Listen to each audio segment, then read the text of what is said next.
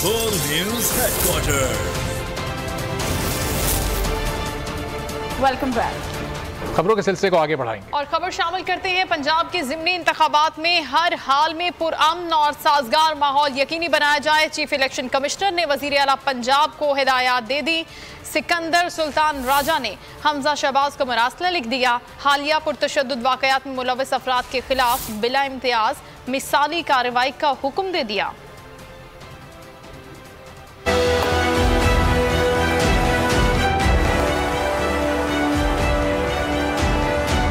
पंजाब के 20 हलकों में जमनी इंतबात के लिए सिक्योरिटी और इंतजामी सूरत हाल को बेहतर किया जाए। हर हाल में पंजाब के जमनी इंतबात में वोटर्स के लिए पुरअमन और साजगार माहौल को यकीनी बनाया जाए। चीफ इलेक्शन कमिश्नर ने वज़ीर अला पंजाब को हिदायत दे दी। सिकंदर सुल्तान राजा ने हमजा शहबाज के नाम मरासले में लिखा कि पी पी एक सौ सड़सठ में पुरतशद वाकयात ऐसी इंतजामी और सिक्योरिटी की कमज़ोरी सामने आ रही है। हालिया पुरतशद वाकयात में मुलविस अफराद के खिलाफ बिला इम्तियाज़ मिसाली कार्रवाई की जाए। गुजशत दिनों पी पी एक सौ सड़सठ में जमनी इलेक्शन की इंतबी मुहिम के दौरान मुस्लिम लीग नून और तहरीक इंसाफ के कारकुनों में झगड़ा हुआ था। तसादों में छह अफराद जख्मी हो गए थे। पंजाब असम्बली की बीस नशस्तों आरोप जमनी इंतबात सत्रह जुलाई को होंगे।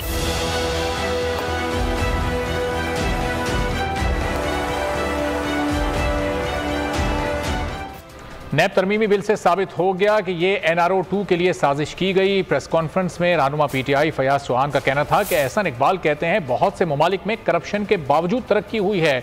इन मुफक्रान करप्शन की रोशनी में नैब तरमीमी बिल पास हुआ